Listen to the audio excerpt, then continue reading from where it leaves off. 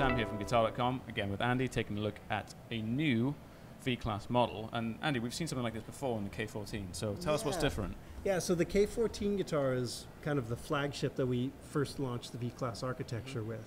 Now this is a slightly different version of that guitar. We won't make a ton of them, but this one's been modified with a Koa, a solid Koa top. Now what's so fascinating is whenever I use a hardwood top on a design like this, there's a natural compression effect that you get on the first half of the note, where it it blends out that first peak before it decays and then finally releases. The overall result is the sound is incredibly smooth.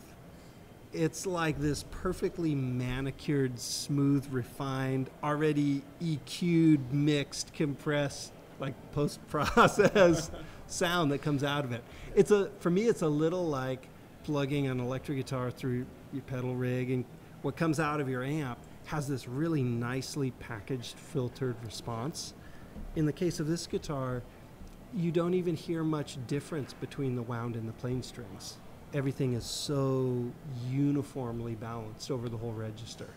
So this being a builder's edition guitar, you see some of the same similar builder's edition attributes. So the ultra complex carved compound cutaway, the armrest. In this case, we've adopted the curved wing bridge that we first introduced with our Grand Pacific guitars.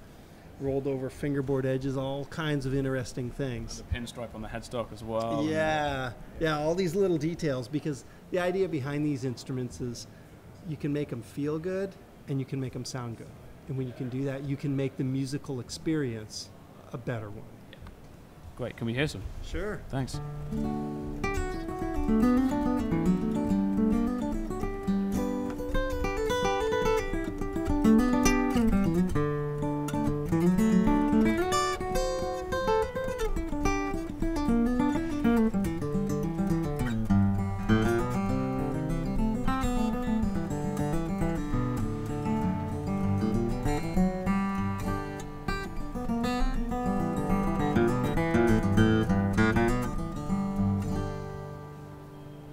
Thanks so much, Andy.